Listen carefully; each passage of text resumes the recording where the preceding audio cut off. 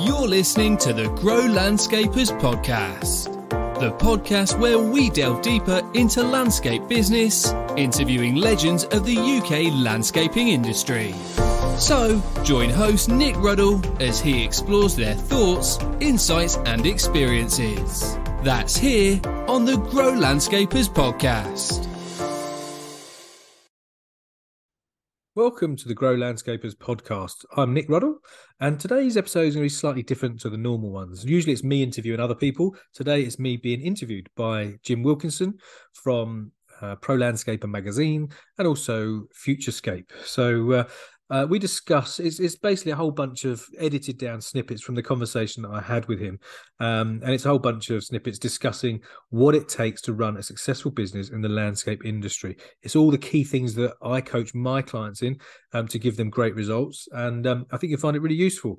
So um, I think it's only about twenty minutes long. So um, get your pen and paper ready if it's safe to do so, and um, and make make a lot of notes. If there's you know something that you need help with, and you feel that you um, you resonate with a lot of the challenges that we discuss in this interview, then you know feel free to to get in touch with me directly, uh, Nick at nickruddle.com. Anyway, enough of that. Um, enjoy the rest of the podcast. Speak to you soon.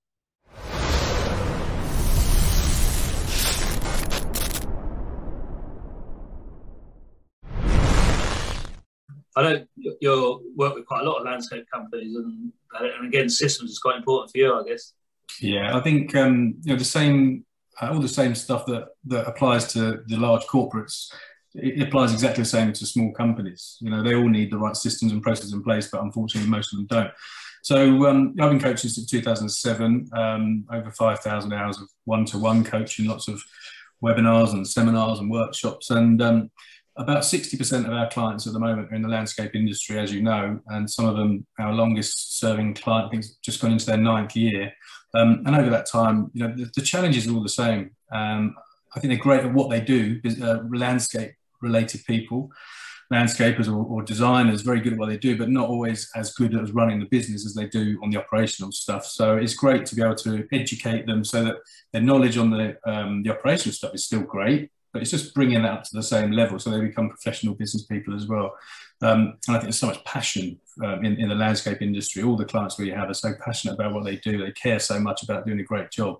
Um, and I think they get frustrated by not having the, the um, results that, that they should be getting. Um, so I think when you when you work with them and you get the results and they're delivering a great end product, you know, it's um, it's a wonderful, very rewarding uh, career to have. I just just pick up a bit on that, Nick, where you say you coach them to do it because it it's it's it's where is that line and where does a business coach integrate into running the business and actually coaching the people to run the business? How, how, how do you differentiate between the two? Well, I think the difference between um, well, the, the, the main benefits of coaching I, I see are two things: education and accountability. So first of all, we've got to educate people to do things better because if they become better, they do better, therefore they have better results. Um, so, you know, you've got to have the two working in tandem because what we know we need to do and what we actually sometimes do are two different things. So, having a coach there gives you that accountability to make sure you do the things that you know you should be doing. But if it's left to yourself, you possibly might not do it, you know. So, I think it comes down to education because if you keep doing what you've always done, you'll get the same results you've always had. Do, do you look at companies and know you can help and not help. Did, did you get the feeling that the type of company that's typical for, for you to add value to quite quickly or? I think, you know, the, the longer you've done it, the easier it is to spot instantly, you know. Um, most of them probably struggling with the wrong kind of people. A lot of the challenges they face is not having the right people, but then not knowing how to recruit the right people, not how, knowing, what the key things are that you need to have in place in order to attract the best kind of people, the right kind of people for you. So having your company's core values, which is basically your identity and your the rules of working for you. If you want to work here, these are the kind of people we have. Once you've got the right people on the bus, then you know a lot of the other things fall into place. But a lot of people are not experts at recruitment or management or leadership, so you have to develop those kind of skills. Um, but obviously, you need to have great systems and processes in place because otherwise, you've got all these people coming in, even if they're great people. But if there's no structure or no systems or no sort of proven methodology of how to do things, then everyone's going to be doing it in their own way and getting inconsistent results. So I think if you if you if you can identify that they don't have the right people or there's no systems, then obviously straight away you know that there's there's there's areas to, to focus on. Your head there, Nick, too, about judging the business by what's in their bank account.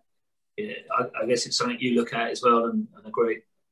I think the very first couple of areas we look at really is the mastery level, so the foundations of the business, and one of those areas is money mastery.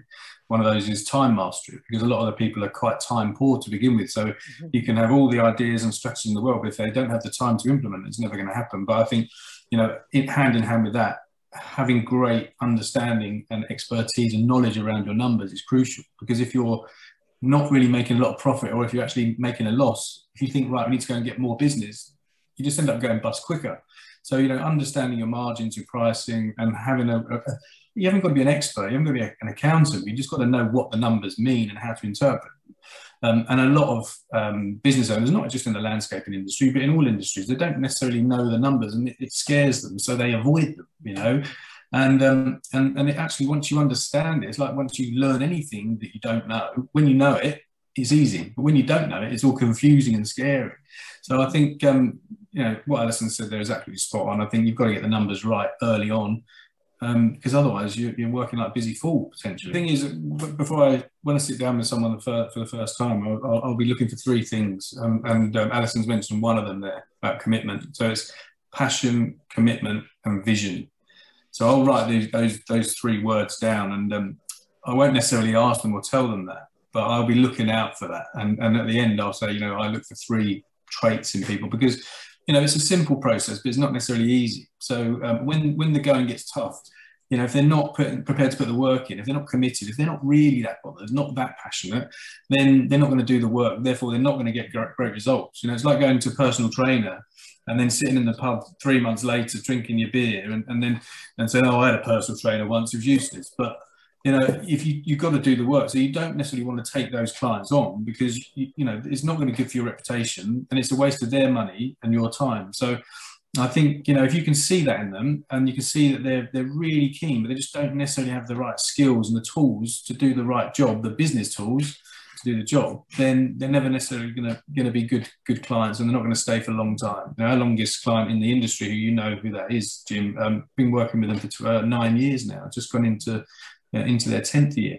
Um, and people won't stay if they're not committed and if they're not passionate. And, and, but, but you will stay if you keep getting results and you resonate with your coach. You know, I think the coach is really important. You've got to like each other. If you think about it, you, you, any relationship, you've got to like that person for it to continue.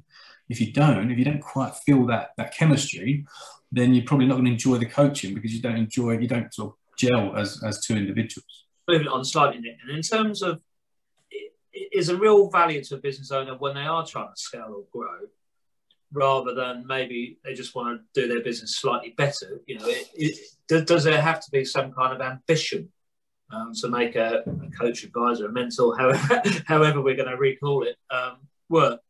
Yeah, well, I think I think you need to have a vision as an individual, as a business owner, to be able to engage and enroll and inspire your people to be wanting to be buying into that that that final destination if you don't know where you're going, then how can you sort of rally the troops and get everyone in the same direction? So you need to have, I think, a bit more ambition than just trying to fix the problems. I think you know um, that will hold people back, and it's not going to inspire others around them because then it's just going to be a job going in every every day, day to day, to just do a job, and that's not sustainable. I don't think for for, for anyone really. I think people need to be inspired. They need to buy into your vision, what you're trying to achieve, to make you look better um, than than the other your competitors, you know, working for someone else, so that they feel they're actually part of something a bit special. If it's just going and doing the day to day, that's not very inspiring. And people will come, they'll go, they'll come, they go, and um, and I don't think you'll ever achieve what you really want to achieve. You've got to have, you know, an end game. What does the business look like when it's finished? You know, and then then you look back, and and, and then you work back three years, one year and then bring it back to a 90 day plan that you engage all your team with and allocate tasks for them to do so that everyone's accountable to achieve you know the long-term vision of the company. You, you you've you've got the client you're engaged and what what what's the most obvious hurdles that you have to overcome to start with Nick? what's the the ones that come up more often? Is it still the individual or with, with the business? owners or with the yeah with the business owners. So they, they've they've come on engaged they open up to you. What's what's the things that you know the, the, most why it wouldn't work more if it didn't happen? Um, I think by the time someone has reached out to you to to want your help, they they they've accepted that they can't do it themselves, and, and I think I don't know if there's any major barriers. I think what I find is that people once they've made that decision, they've, they're open to your advice, your expertise, and your knowledge. So otherwise, why would they bother? So I think it's not necessarily always the uh, the the resistance you get from the business owner. I think they're already bought in and they, they can see the benefit of what you're going to do and, and how to do things, how you go about you know um, that process, starting that process. Sometimes you get a, a, bit of resistance from individuals within the business because some people don't like change, and and sometimes they're the problem. You know, so if some I, th- I, think statistically what I heard years ago around the Action Coach Network, and we're in I know 80 or 90 countries these days is that when we start coaching people, 30% of their staff on average will leave. Mm. But that means that generally it's the 30% that are causing most of the problems. Mm-hmm. Um, and the people that do buy into it, that, that like the vision, that like having values, like having structure, like following systems, all those kind of things, they're the ones you want to keep. And then the new ones that you recruit in the right way um, are only ever going to know that way that they come into. So over time, you can help to sort of change the culture. So I think the only resistance is from the people that are causing you a lot of the problems. Um, yeah. Otherwise, why why would they be resistant to wanting to build the business? You know, so I think a lot of the headaches. I think it's normally like the 80-20 rule. So 20% of your people will cause you 80% of your problems. So if you get rid of those, then obviously you're going to start getting less challenges, putting out less fires, and having a much uh, less stressful life terms of the coach's role, then is it more in trying to position the business as somewhere to go and work for, or how, how involved would you get into that recruiting and recruiting the right people? Well, we've got a, an amazing, um, proven recruitment process. Um, being a, a, action coach, being a franchise, everything is systemized, as you can imagine. And the recruitment process that we have, the clients, the feedback is phenomenal. Um, and once you take them through the right hoops and get the right people, you're, you're testing for attitude throughout. Not necessarily even about their, their skill set initially. It's about getting the right mindset. So the the official process for our recruitment process is not actually sending a CV in. Now it is with, with Indeed because you can only apply by sending your CV in. But um, we get people to, to phone a number and answer three very simple questions. Um, if they fail to answer those questions or phone that number, then they've deselected themselves. So it's a whole, it's not a selection process, it's a deselection process. It's like X Factor, you know, you start with a massive amount of people and you go down to that and that and that. But people have to do something because it shows that they care and they're really serious about working for you and, and that job has my name written all over it kind of thing. So um, I think having the right recruitment process is, is you know, is absolutely crucial. Um, but you know, the, the, the, skills come second in a, in a way because if they haven't got the right attitude, but they've got the skills, mm-hmm. that's that's never going to work because they'll never be able to work with other people and maybe start annoying the good ones. And if you mm-hmm. those good ones are looking to lead it for leadership to, from you, and if you're not doing anything about it, or you're too scared, or you don't know, or like like Alison said, you know, scared about employment law issues, then then you'll end up losing your best people um, because you know they, they, just can't stand the thought of working another day with that individual, even though on paper they might be brilliant. Mm-hmm. It's never going to be a good person fit for the for the company. With, with I'm desperate to get as many questions in as I possibly can, but in and jumping around a little bit. But with with, with, with a, a skilled, hands-on person that starts developing the company and, and does well because of what they do, how how difficult is it to teach them about how to run the business rather than just purely focus on the bit that they love and they enjoy and, and what got them to that level that they're already got to. I got come Nick, sorry. Um, so I think you've got to they've got to um, look at their why and um, what's the bigger picture? Why are they doing this? What, why are they actually in business in the first place? What, what do they want their life to look like? And I think if if they don't know what that is, then they're never going to be able to you know achieve what they need to achieve in the business.